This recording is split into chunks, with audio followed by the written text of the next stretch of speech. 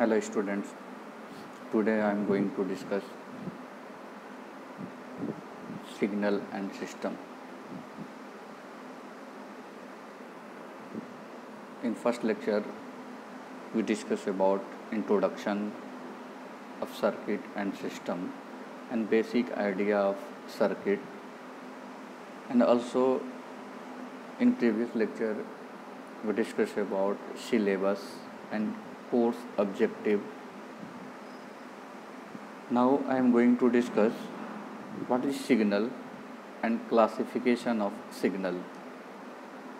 First of all, we discuss about what is signal.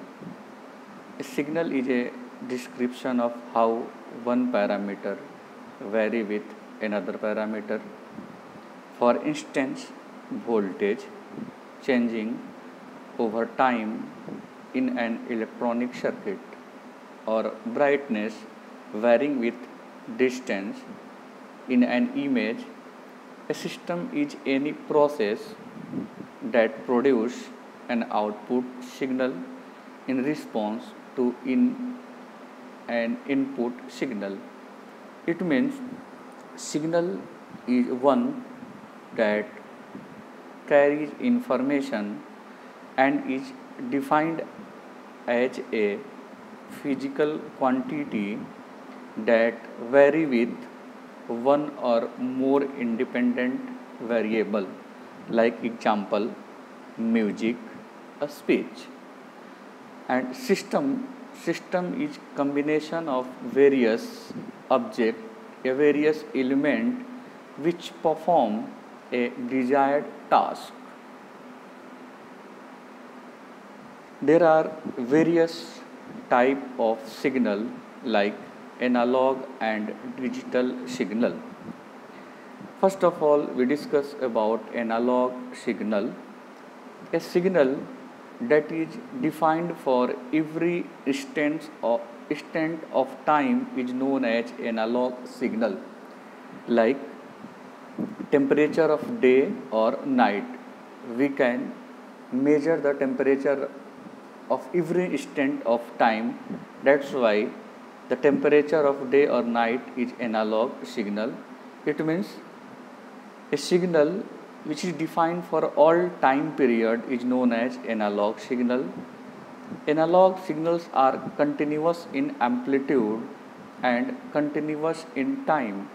It is denoted by xt. It is also called as continuous time signal. Next one is digital signal. The signal that are discrete in time and quantized in amplitude is called digital signal. Digital signal is also known as discrete signal.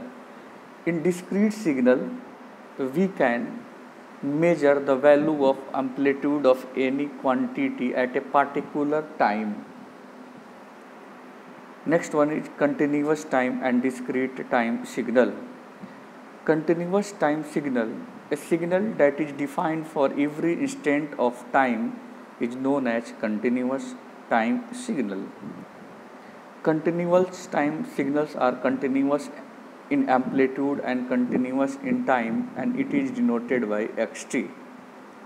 Next is discrete time signal a signal that is defined for discrete instant of time is known as discrete time signal. It is also obtained by sampling a continuous time signal and it is denoted by xn.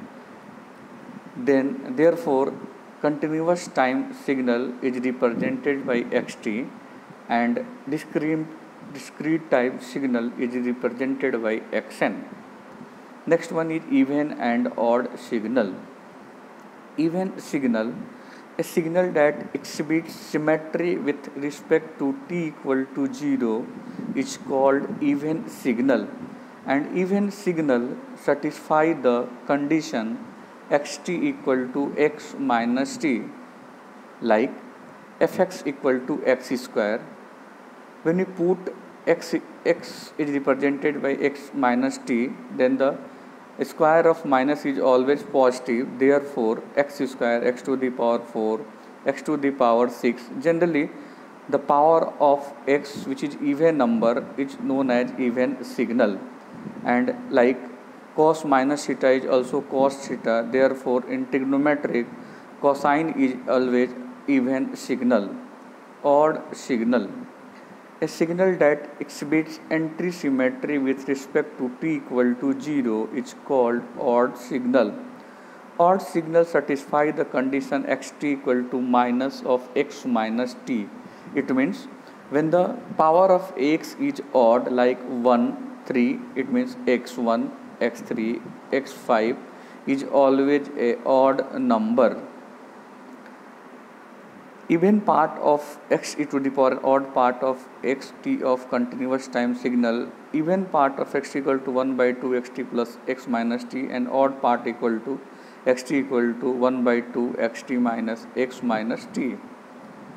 Next one is continuous domain. In continuous domain, time signal is said to be periodic if it is satisfy the condition x t equal to x t plus t, where t is the fundamental time period if the above condition is not satisfied, then the signal is said to be aperiodic.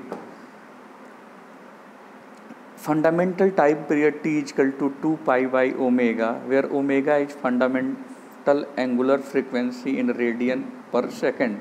It means continuous time signals hold a mathematical expression which is given by xt equal to xt plus t and unperiodic or non-periodic signal which does not hold a mathematical condition x equal to xt plus t